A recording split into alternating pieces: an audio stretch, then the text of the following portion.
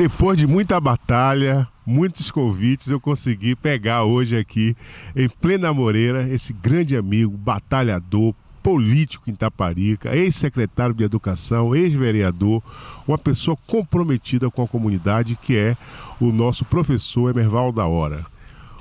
Um bom dia, Emerval. Bom dia. Pois bem, aí a, a ideia de trazer Emerval para conversar com a PP é ampliar um pouco não é, as questões que envolvem o social, a comunidade, o ambiente e a educação em Taparica. Emerval, você tem uma ligação com as religiões afrodescendentes e você foi condutor de um projeto chamado Folhas Sagradas, né, no Candomblé. Como é que isso está acontecendo, Emerval? Não está acontecendo, né? Porque as pessoas vão para esses eventos, seminários, fóruns de discussões, e quando voltam para as suas comunidades, para os seus terreiros, não há uma intenção né, de aglutinar a comunidade, aquela comunidade, dar uma consciência política, uma consciência crítica do que é a religião de matriz africana. No nosso caso aqui, temos duas, que é o candomblé, o culto ao orixá, e o terreiro de, de Babaegum, os terreiros de Babaegum, desculpe. E, aí, e, e, por isso fica na mesma coisa, fica só no, numa linguagem ou numa discussão simples e, e momentânea. Isso é uma pena porque as, as religiões, como você bem falou, de matriz africana, nós temos praticamente todas as entidades, né, todas as os orixás também, né, envolvidas com a questão ambiental. Iansã com o tempo, Ossain com as matas, Oxóssi. E aí, como é que você vê a, a questão ambiental hoje em Taparica, que também tem um grande número de afrodescendentes? Primeiro, eu, é, eu quero reafirmar que o candomblé é uma religião que cultua a natureza. Né? Esse é o principal fundamento, no meu entender, é, do candomblé. Agora, é preciso discutir também dentro do candomblé a questão do meio ambiente. Né? Porque a gente vê muitas aberrações também vindas dos terreiros de candomblé que não há mais necessidades. Por exemplo, eu reciclo é, vasos, tachos, aguidais para fazer arte no, nas encruzilhadas daqui de Itaparica e Veracruz. Então não há mais necessidade da, de, da, dos, dos, chefes, dos orientadores religiosos é colocar mais esses apetrechos que a natureza não consome é, nesses ambientes públicos, né? Acredito também que uma saída poderia ser um local determinados nas matas onde pudéssemos é, chamar de ebódromo, por exemplo. Bacana essa ideia. Ô Emerval, você foi vereador, participou das ações da criação da primeira estação ecológica da Baía Todos os Santos, foi a Ilha do Medo.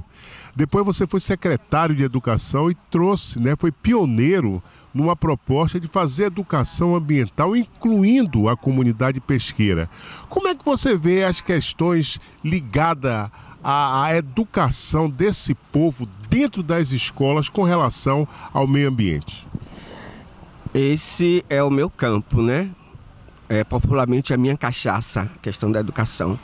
Né? Durante toda a minha vida eu tenho é, estado preocupado com a, com a questão educacional, né? Porque né, entendo que a transformação só se dá através da educação. E se a gente não educa para uma transformação, o que a gente vê é isso aí, as aberrações, é bombas, né? Agredindo a natureza para matar peixe, né, com a desculpa porque precisa de alimento. Não precisa, precisar de alimento não é exterminar outras espécies, né? É a questão da, do, da, do lixo nas praias, né, dos lixos deixados nos, nos, nos pontos, né, a limpeza urbana também peca nesse sempre pecou nesse sentido. É a questão institucional, inclusive, porque é pactuada com os órgãos municipais, estaduais, as autorizações de loteamentos né, em, em, em área de manguezais, de dunas, como nós que nós temos aqui logo adiante. Né? Que aquilo eu achei na época é, uma atrocidade, um desrespeito à comunidade que precisava des, desses estuários para né, se alimentar. Você acha que do seu tempo de secretário de Educação até o momento houve uma evolução, houve um crescimento no sistema educacional no nosso município? Não, não houve crescimento nenhum. Nós continuamos, né, é, o aluno na sala de aula, naquele espaço restrito, estanque. Né? Nós vemos um currículo que não tem a, ligação, é a religação, como diz Morin, as religações dos saberes e, a, e não ensina para a cidadania. Cadê a Lei 10.639 que deveria estar sendo implantada nas escolas municipais? Até hoje não se deram né, conta disso. Né? Além da questão da educação ambiental, né, que trabalha de forma restritamente, sem capacitar professor, que é um outro grande equívoco, um outro grande problema na educação brasileira, é a questão da formação do professor. Cadê a formação do professor em serviço, né, para ele melhorar a escola, a educação, né, o ensino? Pois bem, é, você está acompanhando, Emerval, o debate que a PP está promovendo em relação ao descarte de resíduos na região do Manguezal, ali em frente ao Sesc. Você tem alguma proposta? Você acha que, que, o que é que a comunidade poderia fazer com uma agressão tão grande ao seu sistema de manguezal e também às suas praias? Olha educação de novo falando, né?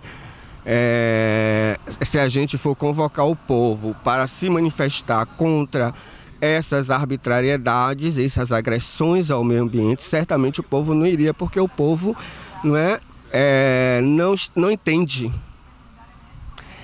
né, não entende e ainda tem mais um agravante. Geralmente são ligados ao, ao, ao, prefeito, ou é um servidor público, ou é um engajado sem, sem, sem concurso e não pode participar. Não há, não há comprometimento. Isso aí. Eberval, por fim, não é? Antes de agradecer a sua boa vontade no dia de domingo, estava aqui conversando com seus amigos e aí concedeu, né? Está concedendo essa, essa entrevista para gente. No ano passado nós tivemos a oportunidade de sentarmos junto diante de uma mesa e construímos uma pauta suprapartidária, esse foi o nosso compromisso, com relação ao grupo LGBTT, né? Como é a questão da homofobia, como é a questão do acolhimento pela família, do, da educação dessas pessoas diferenciadas ou não diferenciadas, iguais em termos de opções sexuais, como qualquer heterossexual, dentro das escolas? E como é que a gente pode mudar essa postura da comunidade diante dos homossexuais, dos gays, das lésbicas, travestis, transexuais e bissexuais? A escola ainda é muito tímida com a discussão da questão da homossexualidade, né? Porque a, é, ela é condenada tanto pelas diversas né, religiões, menos o candomblé, quero ressaltar, é, e pela sociedade.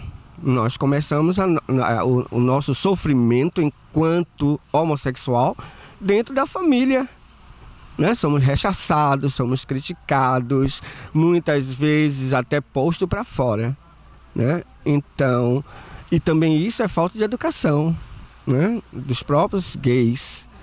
Né? Nós sempre tivemos, eu quero lembrar aqui a, a, figura do ilustre companheiro Saputi, né? que se suicidou. Foi à toa o suicídio? Claro que não, tantos outros se suicidam, né? Homossexuais por, por conta dessa carga de, de preconceito que, que ainda existe na sociedade. Então você entende que a homofobia é uma realidade em Itapari? Certamente. E precisamos, inclusive, verificar essa questão da saúde do gay. Né? Porque nós também temos um problema com relação a chegar num, num, numa unidade de saúde e se declarar que é gay, porque aí também vai ter, né? Vamos ser discriminados também. E por conta disso, existem, na, inclusive na comunidade, pessoas portadoras de HIV, várias, e que é preciso ter cuidado. Essas pessoas chegam ao, ao, ao cúmulo de querer ceifar sua própria vida, como aconteceu recentemente aqui em Amoreiras. Então não é justo né, a gente viver ainda, em pleno século XXI, é, padecendo com a, a homofobia. Pois é, então nós gostaríamos de agradecer a uma pessoa que eu considero uma grande liderança, uma pessoa que tem uma ampla visão das questões sociais, ambientais que envolvem o município da Itaparica, que é meu amigo, professor Emerval da Hora, colocando o microfone da, da APP à disposição para suas despedidas. Eu quero agradecer a, a oportunidade, né? Você tem sempre me assediado. Assediado não é o termo, não. para essa entrevista, mas não foi, não, eu, eu não fiquei arredio por conta de, de né? O problema foi a oportunidade. Então, nesse momento, a gente se encontrou aqui casualmente e foi uma oportunidade que eu tive de colocar as minhas preocupações, que sempre foram, né? neste e tantos outros governos, até mesmo quanto vereador, não fui muito, é, é, não obedeci muito às normas, né, às lideranças e aí me torna uma pessoa antipática, uma pessoa problemática, mas eu digo que eu sou uma pessoa revolucionária. Um grande abraço, meu irmão. E aí?